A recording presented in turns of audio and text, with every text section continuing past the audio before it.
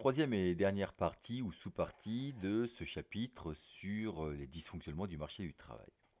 Alors troisième sous-partie que j'ai appelé les problèmes d'asymétrie d'information, entre parenthèses le salaire d'efficience. Il est possible que en première vous ayez abordé le problème de l'asymétrie d'information et quand bien même vous ne l'auriez pas fait, ça n'est pas très grave, c'est plutôt simple à comprendre. Dans le marché du travail que je vous ai présenté, sans vous avoir prévenu, j'ai utilisé la théorie du marché concurrentiel qui était au programme de première. J'ai utilisé cette théorie du marché concurrentiel pour l'appliquer au monde du travail. Je vous ai dit que le travail était une marchandise qui s'échangeait et que de cet échange, de cette confrontation entre l'offre et la demande de travail, découlait la quantité de travail dont on avait besoin et le prix de travail, donc le salaire. Ce marché théorique, si vous vous souvenez de vos cours de première, repose sur plusieurs hypothèses, et notamment la parfaite information.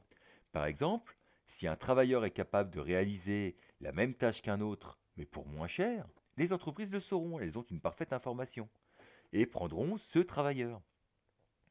Inversement, si une entreprise peut payer plus cher une même tâche, les travailleurs eux aussi le sauront et chercheront à travailler dans cette entreprise.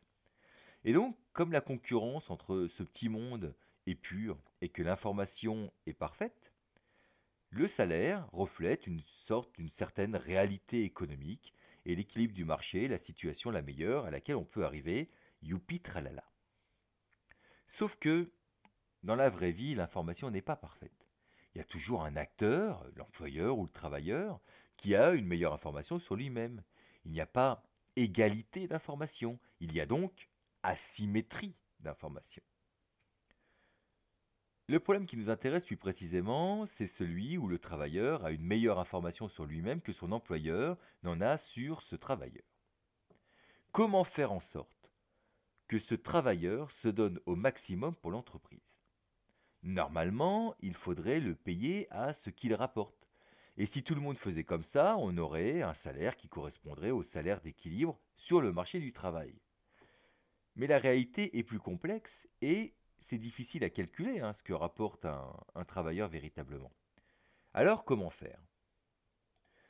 Eh bien, on fait comme votre professeur de SES e avec vous. On rémunère plus que ce que vous valez. Alors j'exagère pour vous faire râler, mais imaginons que votre vraie valeur soit ce que vous avez eu au bac blanc. Pour la plupart d'entre vous, pas tous, votre note était inférieure à votre moyenne.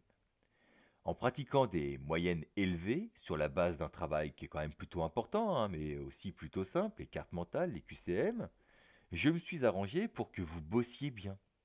Je me suis même arrangé pour que vous bossiez plus ma matière que euh, les autres matières. Alors vous me direz si c'est vrai. Je vous ai motivé à faire en tout cas plus que ce que vous auriez fait sans cette petite manipulation et à faire ce que votre potentiel vous permettait de faire. Alors, ne me dites pas que vous exploitez tout votre potentiel à fond dans toutes les matières. C'est peut-être valable pour 4 ou 5 d'entre vous, mais pas pour l'intégralité de la classe. Dans le monde du travail, surtout dans les grandes entreprises où l'on peut facilement se cacher, c'est la même chose. Si on veut que les travailleurs se donnent à fond, alors qu'en tant qu'employeur on ne peut pas les observer, on peut chercher à les payer plus. C'est ce qu'on appelle la théorie du salaire d'efficience. L'efficience, c'est la capacité d'un individu d'être performant dans un type de tâche donnée. Il y aurait donc un salaire qui inciterait les travailleurs à se dépenser plus que leur nature les y pousserait. Notamment parce que dans les autres entreprises, le salaire est plus faible. Et que dans le doute, plutôt que de perdre son emploi pour en retrouver un moins rémunérateur, autant se donner à fond pour celui-là qui paye bien. Alors, évidemment, toutes les entreprises ne peuvent pas se permettre financièrement de pratiquer ce salaire d'efficience, c'est-à-dire ce salaire qui est plus élevé que ce que vaut vraiment le travailleur. Mais il suffit qu'un bon nombre le fasse pour que cela déséquilibre le marché du travail. Vous allez comprendre. Si les entreprises paient les salariés plus cher qu'ils ne valent, le coût du travail est plus élevé qu'il ne le devrait. Le budget de l'entreprise en est impacté un peu comme euh, s'il avait diminué. La demande de travail des entreprises est donc plus faible qu'elle ne le devrait.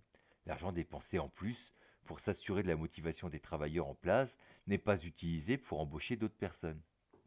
Donc globalement, il y a moins d'embauches et donc moins d'emplois que s'il y avait une parfaite information. Conclusion, l'asymétrie d'information conduit à la mise en pratique de salaires d'efficience qui, en diminuant la demande de travail, génère du chômage.